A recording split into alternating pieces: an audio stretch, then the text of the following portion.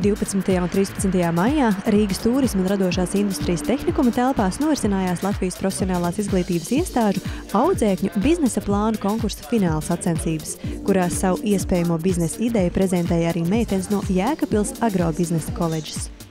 Mēs veidojam biznesa plānu rakstveidā, pamatojot savu biznesa ideju, veicot finanšu aprēķinus, veicot tirgus izpēti sūtām komisijai, žūrijai, un tad jau viņi nākošajā kārtā izvirza sev tīkamākos, pamatotākos biznesa plānus. Sākumā idejas mums nebija, bet mēs sākām apsvērt, ko mēs varētu tādu interesantu izdomāt, kas piesaistītu uh, cilvēkus un klausītājus. Tā mēs nonācām pie mūsu produkta, uh, kas ir uh, laminēto koka plātņu plaukti. Šie plaukti atšķirās no ierastajiem plauktiem ar to, ka tie ir funkcionāli un ļoti viegli pārvietojami.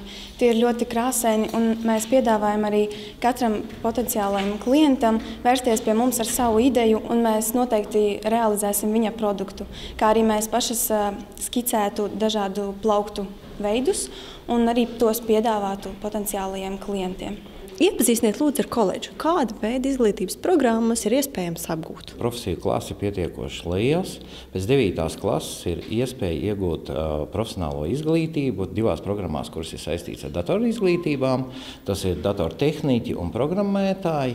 Ir iespēja arī grāmatvežiem mācīties un mācīties mazumtirdzniecības komerces darbiniekiem. Iekļūs agrobiznesa koledžā būs jauna programma, kur varēs iegūt pēc, jau pēc 9. klases, būs multimediju dizains. Ja mēs ejam arī uz augstākās izglītības, uz pirmā līmeņa, tad tur ir iespēja arī šos datorus apgūt, apgūt programmu komercdarbībā un programmu mārketings un inovācijas. Jūs gribat gūt zināšanas un pieredzi un būt plašs profils speciālists, laipni lūdzam, Jēkabils Agrobiznesa koledžā.